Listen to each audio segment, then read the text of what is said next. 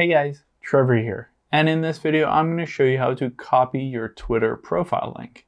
It's pretty quick and easy, so let's jump right in. Now, I'm going to open up the Twitter app here, and I can tap on the profile icon at the very top left, and then I will tap on profile. Now, Twitter unfortunately doesn't have an ability to directly copy a link from your profile, but we can get to it by going to one of your tweets. So I'm going to scroll down until I find one of my tweets here. And then I'm going to tap the little arrow going up. And I'm going to tap on messages here.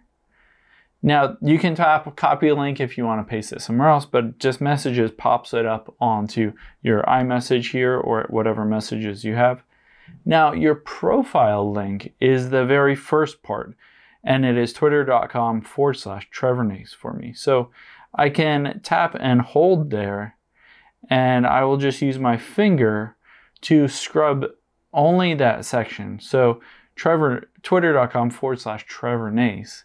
And now I have copied my Twitter profile link. I can use that wherever I want. I can open up Safari, I can um, send it in a message and do whatever I want, and it'll go directly to my Twitter profile. The steps are the same on iPhone or Android as you go through these steps on Twitter, and you can share that link however you want.